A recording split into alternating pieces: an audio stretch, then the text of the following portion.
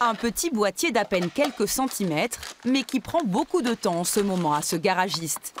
Chaque semaine, Henri Cossat installe une quinzaine de systèmes de conversion au bioéthanol, une technologie directement reliée au système d'injection du véhicule. C'est le, oui, l'éthanol, le carburant éthanol qui est plus pauvre que le, que le carburant normal. Donc obligatoirement, on rajoute le boîtier pour, euh, pour augmenter l'arrivée de carburant dans le moteur. Il faut en moyenne entre 1 et 4 heures pour équiper un véhicule essence de ce boîtier électronique. Montant de l'installation, entre 780 et 1800 euros.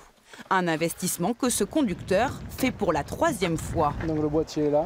Il a converti tous les véhicules de la euh, famille. voilà. Le boîtier est là, il n'y a rien à faire. hein. On a trois véhicules équipés. On a calculé qu'en 10 mois, en fait, on avait amorti l'installation. Que vous rouliez à l'essence ou à l'éthanol, en fait, il n'y a pas de changement de, de comportement du véhicule, pas de perte de puissance.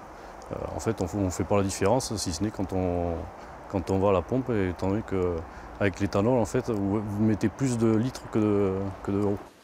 À 250 km de là, voici l'usine d'où sortent les systèmes électroniques de conversion.